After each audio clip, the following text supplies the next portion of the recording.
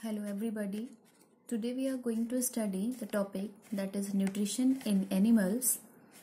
In this topic we have to study especially holozoic mode of nutrition and in holozoic mode of nutrition we have to study two subtopics that is nutrition in amoeba and nutrition in human beings. So first of all we should know that what is holozoic mode of nutrition the mode of nutrition in which food is taken as whole and digestion is completed in four steps that are ingestion, digestion, absorption and assimilation and the last one is a egestion is called holozoic mode of nutrition. The first we will discuss nutrition in amoeba.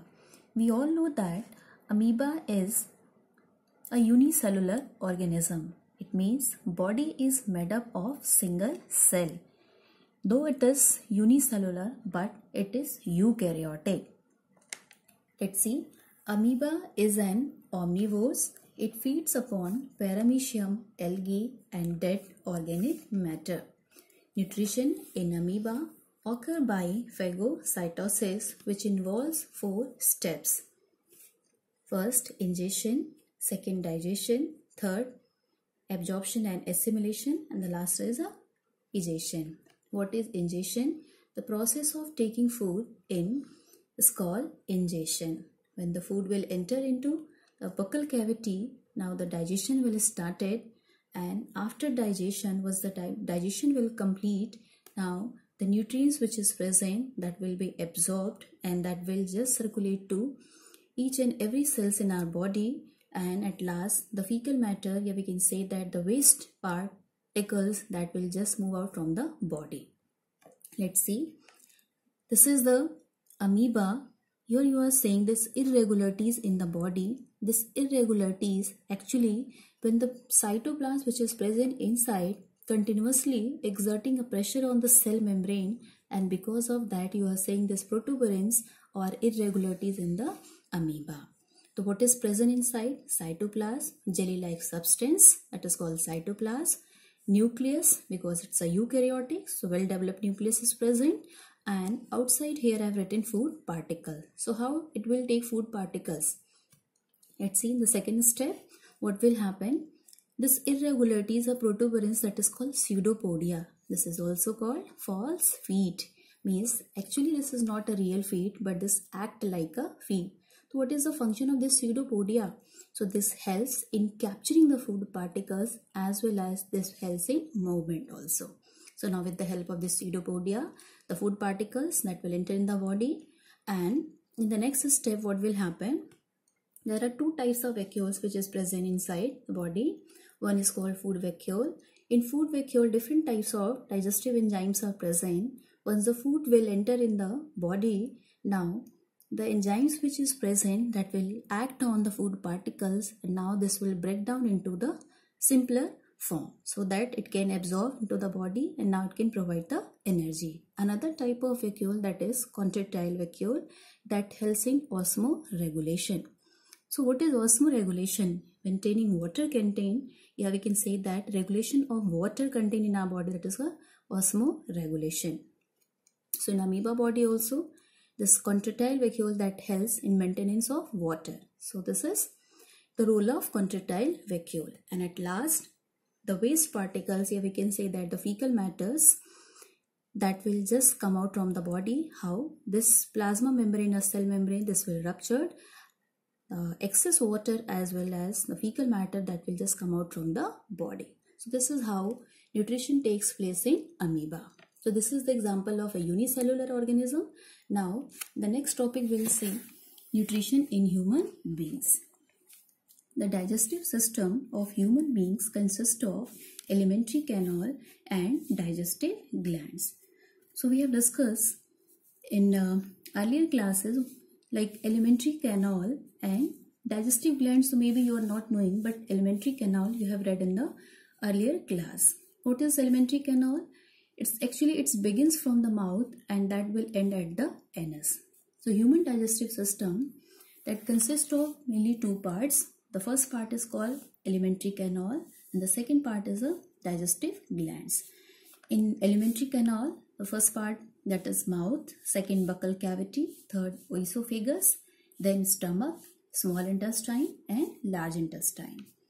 And in digestive glands, the first gland that is salivary glands, which is present in the buccal cavity. The second gland that is gastric glands that is present in stomach and liver. This is the largest gland in our body. The last pancreas. Let's see. Here I have drawn the diagram of human digestive system. This part is a buccal cavity. The second part that is food pipe. You are seeing here this is a tube-like structure that is uh, 25 to 25 centimeters long and uh, this J-shaped structure here we can say that bag-shaped structure that is stomach. In this gastric glands are present. Uh, later on we'll see the function of the gastric glands. And now here cap like structure that is the liver. And inside liver this gallbladder is present. And just down on the stomach this leaf like structure that is pancreas. And this U-shaped structure that is the duodenum which is the part of the small intestine and now this is a large intestine and this coiled structure which is known as small intestine and uh, this swelling part that is the rectum and this small opening that is known as anus. In this side you are seeing this structure that is known as appendix. Let's see. Buccal cavity. So what will happen basically the starch that will break down into maltose in the presence of salivary amylase. What is starch? We all know that the food is stored in the form of starch in the plant body and in the form of glycogen in the animal body. So actually it is a polysaccharides when this salivary amylase this will act on this so this will break down into disaccharides. Let's see what is buccal cavity. Empty space between upper jaw and the lower jaw is called buccal cavity. It consists of teeth, tongue and salivary glands. Human beings possess diaphyodonts. It means, what is the means of diaphyodonts? It means two sets of teeth in our life. One is a milk teeth, another is a permanent teeth. And heterodont. Heterodonts means different shapes of teeth. Now see, depending upon the shape, there are four types of teeth in a buccal cavity. First, incisor that is called biting teeth. Second, canine that is called tearing teeth. And third, premolar that is called chewing or grinding teeth. And the last one is a molar that is also called chewing or grinding teeth. Here I have written dental formula for the milk teeth. So, I have uh, drawn first maxilla. This maxilla is called upper jaw and this mandible is called lower jaw. So here also I have furcated this in two parts left side as well as right side. So whatever number of teeth that will be present in the left side the same will be present in the right side and the same the downside also. Let's see in milk teeth incisor that is 2 in left side the same way in right side also canine that is 1 the right side also premolar that is 0 because pre premolar is not present and molar that is 2 in left side as well as in the right side also. So while writing the fo formula here I have written incisor, canine, premolar and molar. 2102 2102 into 2. So this will come 20. So this is the formula of milk teeth. The same I have written here. Dental formula for permanent teeth. Here also I have just divided in two parts. What I have told you here, the same. Incisor, canine, premolar and molar. So incisor is 2 in number, canine that is 1, premolar that was not present in uh, milk teeth. This was absent but now it is in permanent teeth this is present that is 2 in number in the left side as well as in the right side also and the molar that is 3 in number. So we'll see the formula incisor, canine, premolar and molar so it, will become 2, 1, 2, 3 and 2, 1, 2, 3. So this is multiplied by 2 and now this will come 32. Now as the food is taken in through the mouth, it is broken into small pieces of by teeth in the buccal cavity and this is called mastication. Masticated food is moistened with the help of saliva that is secreted by salivary glands and mixed with the tongue. Now, the soft moistened food particles in the buccal cavity that is called bolus and salivary glands secrete saliva which contain enzymes and water. Enzymes of salivary glands are lysozymes. What is the role of this lysozyme enzymes? Actually, this will kills the germs that will come along with the food particles. Another enzymes that is salivary amylase. What is the role of this salivary amylase? This will break down the starch into maltose. Now, the next is a oesophagus. It is a tube-like structure which is known as food pipe. Actually, this will allow the food to pass from the buccal cavity to the stomach. Now, the food moves down into the stomach by peristalsis movement. What is peristalsis movement? Actually, involuntary muscles are present in food while and rhythmic contraction and relaxation of these muscles, this will just push the food down into the stomach. Now, the next part is the stomach.